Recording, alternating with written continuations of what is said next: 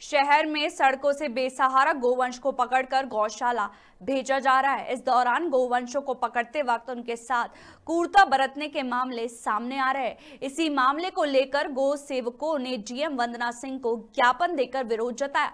दरअसल, एक वाहन में चार से सात गोवंशों को भरकर गौशाला ले जाया जाता है। वहीं गो सेवकों का कहना है कि गौशालाओं में भी गोवंशों की देखरेख खान पान और इलाज की व्यवस्था भी नहीं मिल रही है जिसके चलते गोवंश दम तोड़ रहे हैं।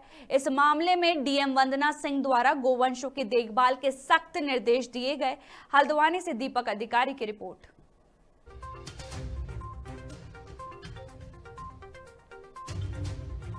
ये नगर निगम अभी वर्तमान में जो खतरनाक सांड है, जो उनका एक अभियान नगर क्षेत्र में चला रहा है, उनको पकड़कर गौशालाओं में भेजा जा रहा है।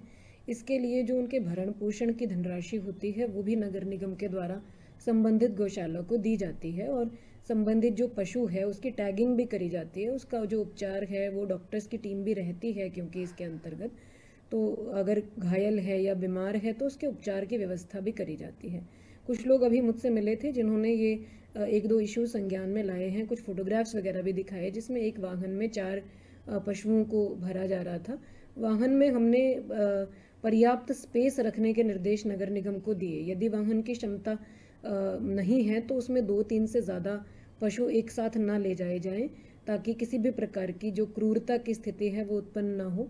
साथ में जो टीम रहती है, पकड़ने वाले दल के साथ, उसमें जो डॉक्टर्स होते हैं, उनके पास पर्याप्त मात्रा में दवाई की व्यवस्था रखने के निर्देश दिए हैं। नगर निगम एक अच्छी पहल कर रहा है, ये तो बात अच्छी है, लेकिन कम से कम उनके बाद तक के लिए जो है चारे पानी की व्यवस्था रहे, जब तक कि वो जीवित रहती है। दूसरा, हमारी समस्याएँ गाँव को लेकर भी है, मैं गोलापार से आया हुआ हूँ।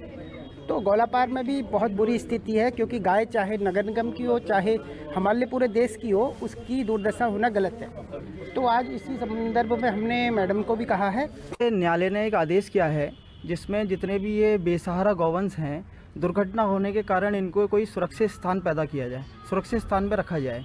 तो अभी नगर निगम ने एक अभियान चलाया है जिसमें गौवंशों को बड़ी क्रूरता के साथ जो है ले जाया जा रहा है। एक एंबुलेंस में पाँच पाँच छः छः गौवंश, कोई मेडिंग नहीं उसके अंदर, और क्रूरता से ले जाके उसके बाद बैल पड़ाव जैसे आश्रमों में भेज दिया गया है। क्योंकि सबसे पहले तो ये था कि इनके लिए पहले तो व्यवस्था बनाते, तब उठाने के लिए कुछ करते कि चलो इनको ले जाना है। दूसरा क्रूरता ना इनके साथ। मैं बाजपुर गौशाला में गया था वहाँ मैंने देखा कि छोटे छोटे जो बच्चे हैं, उनको भी बड़ों के साथ रखा और इतनी भीड़ थी कि जब वो नीचे गिरे तो बड़े सांड उनके ऊपर से निकल जा रहे। और वो उठा के उनको साइड भी नहीं कर रहे हैं।